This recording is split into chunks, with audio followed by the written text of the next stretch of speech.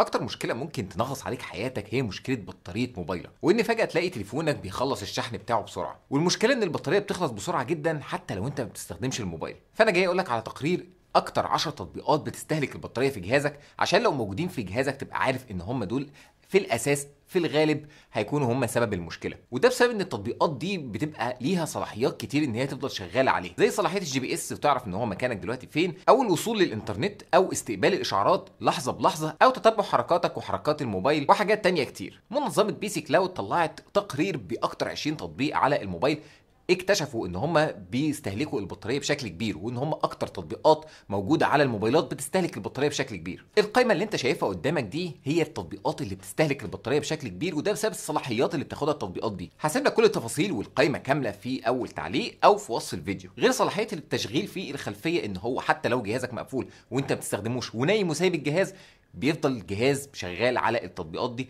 عشان يستقبل الإشعارات بتاعة الجهاز وعشان إن هو التطبيق يفضل شغال يجيب لك الإشعارات دي بتاعة الرسائل أو الكومنتات أو أي حاجة بتحصل حواليه. وده معروف عن تطبيقات ال social media اللي كلها أصلا تقريبا موجودة في القائمه بتاعة ال 20 أكتر 20 تطبيق بيستهلكوا البطارية. لكن مثلا تطبيق زي Uber ليه بيستهلك البطارية بشكل كبير برغم إن أنت مش كل شوية بتطلب عربية؟ ده لأن التطبيق لحظة بلحظة بيتتبع حركة جهازك وانت موجود فين دلوقتي عشان لو جيت تطلب في أي وقت يقدر إن هو يجيب لك عربية دلوقتي. النصيحة الأولى حاول ما تخليش أي تطبيقات عندك في جهازك ما بتستخدمهاش. ولو في تطبيقات ليها نسخة Lite أو نسخة مخففة استخدمها بدل النسخة الكبيرة لأن هي بتاخد صلاحيات أكتر وبتستهلك أكتر من موارد الجهاز. ولو في تطبيق ممكن تحذفه وتستخدمه كموقع إلكتروني مش كتطبيق يكون أفضل. كمان أهم حاجة تعملها إن لو في تطبيق على جهازك أنت مش عايزه يستهلك البطارية إلا لوقت إن أنت تستخدمه بس وما يبقاش شغال في الخلفية اضغط ضغطه مطوله على التطبيق ده وهتدخل على معلومات التطبيق. ومن معلومات التطبيق بيكون في خيار لموفر البطارية وهتفعل فيه تقييد نشاط الخلفية بحيث إن أنت مجرد ما تقفل التطبيق